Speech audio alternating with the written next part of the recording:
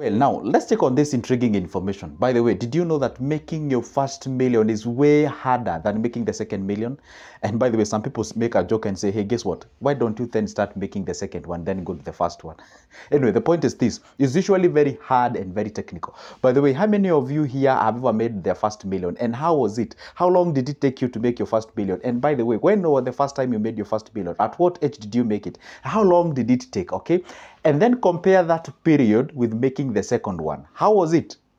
Exactly. It's usually tricky. But when you're making your first million, it's way hard and all those kind of things. But when you're making your second, you even feel like, oh my goodness, wow. Do you know it can take like a whole stretch of two years or three years or five years to make your first million? But making the second one can even take two or three months. That's for a fact. And that is the most intriguing thing that you have ever seen in this world of the finances. And for those who are content creators, personally, it took me like 1.4 years to make the first 1,000, but it takes like a week or two to make like two or 3,000 or something of sort. The same case, it actually took me on the same topic that I'm talking about. So it takes a little bit of time, but later it's actually transformed to be a bit easier as you progress. Now, today we're going to check what are the reasons why that exactly happens and how can you actually advise or rather adjust yourself so that at least you can sort of shorten the period because I know most of the people, especially in this area that you're living in, hey, Joseph, I don't want to use all that long process and what have you. Anyway, let's get into the business. But if you're watching me for the first time, welcome to this Good Joseph channel. My name is Joseph. I talk about anything related to cash and investment. And by the way, don't forget to hit that like button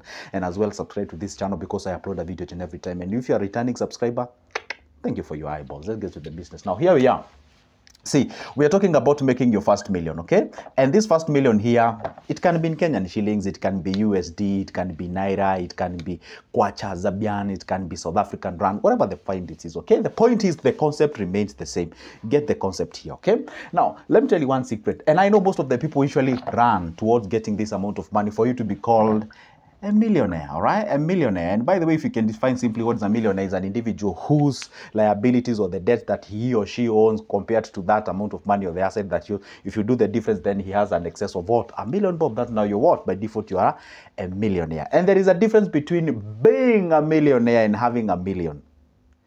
I repeat, there is a difference between being a millionaire and having a million. You can have an individual who has a million but does not have the millionaire mindset. That's a reality. So there is a difference between having a million bob in your hands and being a millionaire. Because when you have someone who is a millionaire, is someone who has the capacity to raise a million. For example, if it took you like four years to lay all the strategies and all the processes for you to realize a million bob or a million, whatever the thing it is, okay? Then you already know. For example, let's say it took you five years. Let's say you are selling spare parts, for example let's say you are selling spare parts okay spare parts okay and then it took you let's say four years four years to make sure what to do what to make your first million so you know very well the process of actually getting ahead and be able to raise a million bob using that business or whatever the business it is now you see why is it hard to make your first million this is the reason okay you're starting at zero when you say you're starting at zero it means you're starting with nothing probably you're starting with nothing probably the only thing that you have here is that the skills and guess what energy okay and time those are the three things that you have for you to make a what? Your first million. That's what you're supposed to understand, okay? Remember, when you're starting, guess what you have? You only have skills, maybe you're employed. You have the energy, maybe you're young or something of sort. And then you have the time, obviously, from where you are to till when you're going to make your million. Now, here comes, okay? And remember one thing, there is this principle that says it takes money to make money. That's for sure. Now, when you have these things and you have to convert it to making money, guess what? You can only trade these things. And when you trade skills, it means you have to trade skill plus time. For example, let's say you are a teacher, you're employed by the government, or employed by a, a private sector. Therefore, you trade from your 9 a.m. or rather 8 a.m. all the way to 5 p.m. for them to pay you, say, 50,000, okay? 50,000. And remember one thing, that 50,000 that they pay you at the end of the month is what you're supposed to eat, drink, dress, and also, it's assumed you're supposed to use your own brain to make sure that you raise this amount of money. Guess what? You're trading the skills. And when you're trading the skills, of course, you leverage on what? You leverage on discipline and you leverage on time. That's for a fact. And then that is a little bit technical and tough. That's for sure. Okay. Now, when you're trading your energy, obviously it means when you're young. Maybe let's say you got employed when you're say at your 30s, or maybe let's say uh, still at 40s, you're still energetic, or maybe let's say at your 20s. Then at that particular uh, moment now, you leverage on your energy when you're at the highest productivity. That's the time that you can sacrifice. That's the time that you can go without eating and all those kind of things. Like you, you can imagine this. If you're earning a 50,000 a salary at the end of the month and you can only maybe set aside like 15K, for example, I'm just saying, if you can set aside 15,000, okay? And you decide to be saving this amount of money, and let's say maybe you do not have the time to actually go ahead and actualize a business for you to increase another source of income by you having uh, you know having two active lives the active from where you're employed and active from where you actually run your business then it takes a lot of time. See when you have less money than what you make uh, if you when you have the less money you're gonna need more of time to make a million bob. But when you have more of the money, then you need less of the time. For example, you have somebody who is earning 500k, let's say for like the politicians in Kenya.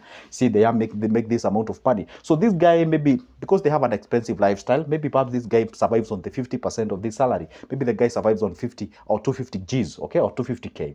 Now the remaining is 250. Now the guy needs only four months to make sure that he get there a million bob. Now the point is this: the reason why it is usually hard to make your first million million, it is because you're starting with nothing.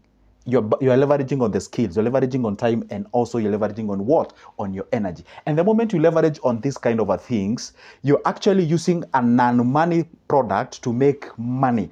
And at that particular point, you either solve people's problems or you sell an item or guess what? Because there are only three ways or two ways on how you can actually make money. Okay? Number one, you either offer services or two, you get, a, or there are actually three one, you either get you have the skills that you can actually leverage on, you get employed. Two, you either sell services, or three, you get what? You sell some products all good, or maybe you discover something, our product that you said is out there. So you're leveraging on what you do not have to get what you have. And at that particular point, it's become harder. For example, let me ask a very simple question, okay? Let's say we have two people here, for example. I'm going to use this simple example and I want you to relate to it. Follow me, all right? So you have two individuals here. You have individual A and individual B. right now, uh, this individual B get approached by an individual Y. this individual Y goes to the individual A and tell the individual A, hey, guess what? I want you to get out early in the morning at 7 a.m. All right, go out there and make me 300 Kenyan shillings. Make me 300 Kenyan shillings, okay? This is what you tell the individual A go make me 100 Kenyan shillings. You give, them nothing. You give them zero. You give them nothing. Just tell them, hey, guess what? Wake up early in the morning as from 7 a.m.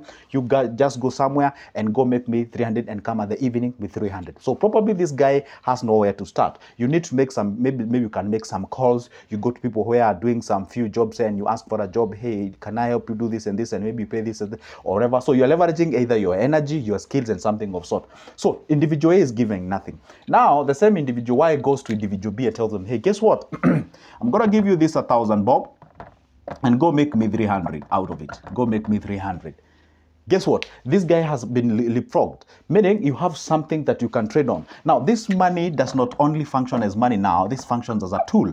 Is for example, when I tell you, hey, get, take this nail, I want to drill this nail inside that wood, and I don't give you the hammer. Guess what happens? You're gonna improvise. You're gonna look for stones or metals or whatever the thing it is, and assuming maybe you're in a place whereby the availability of the stones and the metals to hit that nail to drive it through the wood, it is not available. So what do you do? It becomes very technical to a point whereby you'll never even drive that uh, nail into the wood. But when I give you this a thousand bob, assuming now this a thousand bob functioned as a hammer. Now this is a hammer, okay?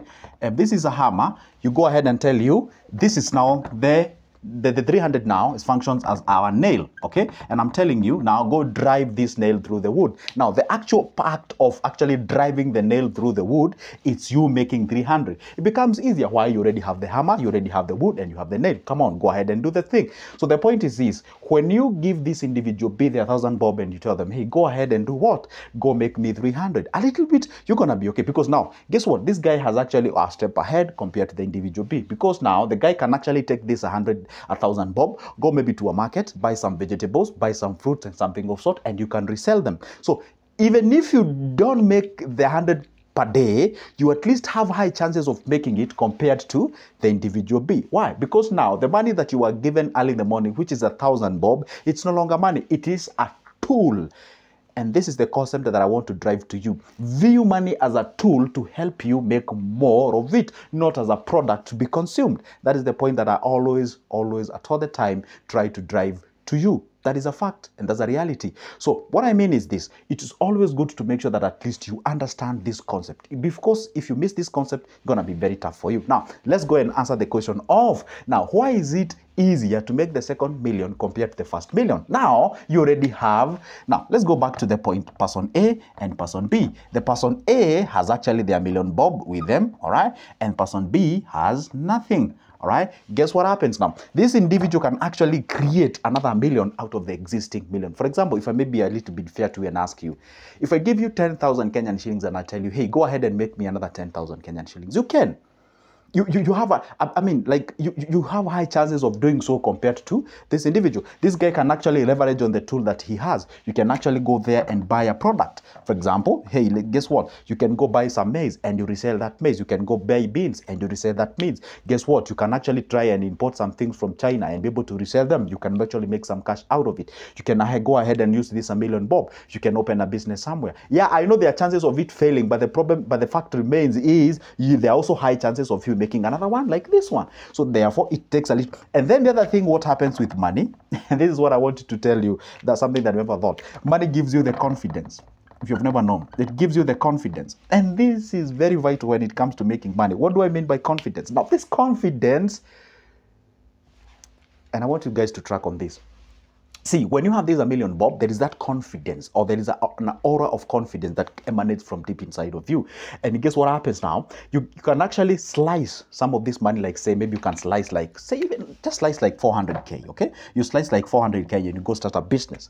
And sometimes I came to realize in this life, and I can attest to this personally. So when you have this amount of money, you can slice 400, you already know at the back of your head, have like another soft landing of 600 Gs. So I have another two times of trying, okay? Or three or five times, depends on how much you want to start with okay? Now you can actually go ahead use this amount of money to leverage and starting a business out of it. And the moment you get into a business with the mentality right mindset with the right skills and the confidence that you have it you're gonna do something. For example can you imagine this? I have a million bob and someone else has 400000 and we want to start a business that is both of us is 400 so you go start yours at 400 i start mine at 400 so the guy who only has 400 you know in kiswahili we say mbele na nyuma we don't have any other money. It is your dear money. It is your heart money. It is your the most of money okay? Guess what happens? Now the guy with 400 is a guy who can actually approach life with paranoia and paranoid and something so you're kind of worried. And you know one thing? Business does not need that kind of an individual. You need to go into it with full force with full understanding with that confidence with that aura and that is exactly how you manage and that's how you succeed. Because most of the people i realize they don't achieve their dreams because they fear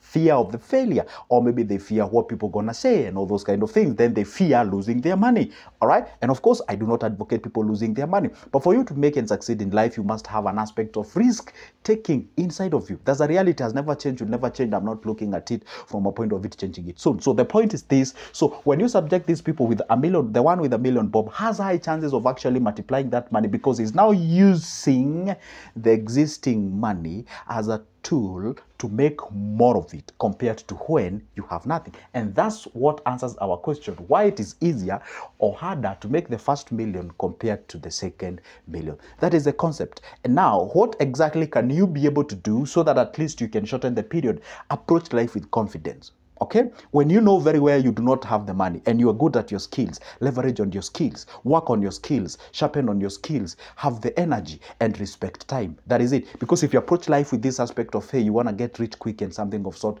you're going to lose a lot along the way because you're actually trying to um, twist the actual process of creating wealth. And that's it. And by the way, for those who are here and they have some, a little bit of money, God has blessed them. Do you, um, b- before you got the money, and when you got the money, at which occasion when you actually started to play in the long term? I'm going to repeat my question. Before you had the money and when you had the money, when are now able to actually play long term? When can you say, hmm, I can start a business? I don't even have a hurry. I can even go for one year. I don't. But when you see, when you have money, you tend to play long term. You don't have the issues to do with quick. That's why you find most of the rich people don't play the lottery. No, they would like they would like go and buy shares of a certain company and put it out there for the next 30. They don't have a problem with it. They can actually leverage on that on, on the time. But when you do not have the money, when someone tells you you can can invest. That's why I always come here and tell you invest on T-bill, T-bill, whatever the things that I usually talk about. And then you're like, "Hmm, it takes a little bit of time. It's, uh, I don't know whether I can actually manage it. You actually tend to be in discipline when you do not have the cash. But when you get it, you tend to develop that confidence. You play the long game and all those kind of things. Become a little bit patient, you know, confident, and all those kind of things. So that's a reality that comes in or kicks in when you actually have the money. So what is the parting shot of this video? You look money from the point of a tool, not a product to be consumed. A tool to make you more of it, but not a product to actually satisfy you. And I know most of the people who were never brought up with money in their lives, they may tend to view money as a product to be consumed, and that can actually limit you from achieving your goals. Anyway, guys, guess what? You can always pick that number of mine from the description of this specific video. Give me a call or text me on WhatsApp, or you can shoot me an email. Let's talk business. I offer those services at a personal level for now. So goodbye and see you in the next one.